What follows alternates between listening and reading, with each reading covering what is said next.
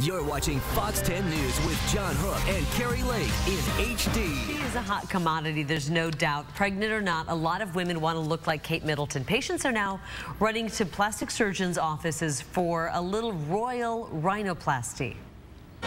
The Daily News says the number of women requesting noses like Kate Middleton has tripled since the royal wedding, making the Duchess of Cambridge's stately snout the most prized celebrity body part in the world. It's kind of in vogue. I have friends that are in Manhattan.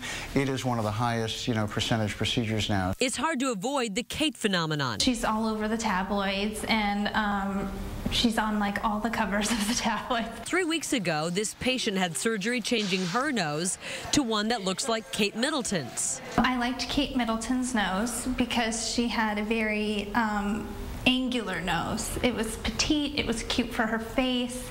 Um, she just her harm the harmony of her face was overall what I was looking for. Take a look at this patient's before and after pics and now compare her nose to the future Queen of England's. She has a classically English nose and and uh, it's not a perfect nose. I mean she's a very pretty woman. I mean she's not perfect. Not perfect, but then plastic surgeons say perfection is not always what they strive to achieve. Perfection is boring, you know. I mean it's the little intricacies of, of, of people's faces that that make uh, make people beautiful.